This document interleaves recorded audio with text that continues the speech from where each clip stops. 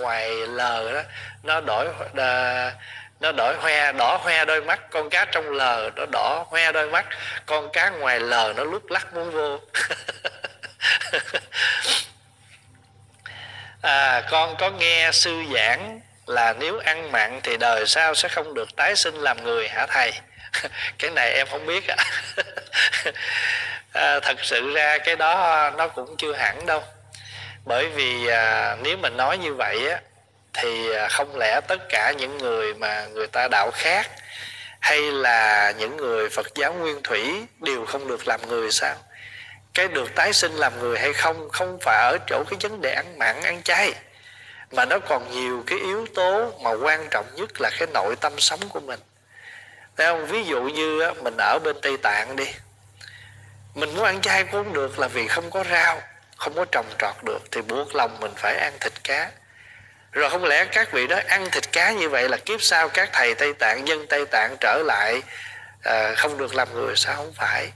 Mình nhớ là một cái nghiệp gì nó thành đó, nó cũng phải do nhiều cái duyên do yếu tố chứ không phải là một vấn đề.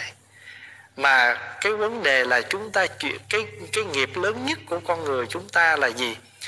Là là sát sanh trộm cắp tà hạnh nói dối uống rượu à, xì ke ma túy. Cái nghiệp đó nó đủ năm cái yếu tố nghiệp nặng đó nó mới làm cho chúng ta bị thọ báo, báo nặng hơn. Còn trên phương diện sát sinh là gì nè mình đừng có giết người hay là mình đừng có giết những con vật mà làm vui. Thí dụ như à, mình à, ăn bây giờ thí dụ mình chưa ăn chay được đi mình ăn mặn nhưng mình nên tập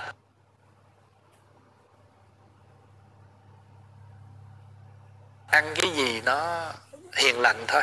Ví dụ như những con mà nó chết người ta bán nè. Hay là những con gì mà xã hội người ta đang chấp nhận cho con người mình ăn. Chứ mình ăn chi gọi là tươi ngon cái gì, một cái con cá nó đang sống mình về mình đập cái đầu nó. Tại vì khi mình đập đầu nó là cái tâm mình khởi. Nắm nó, cái hình thái mình phải nắm nó.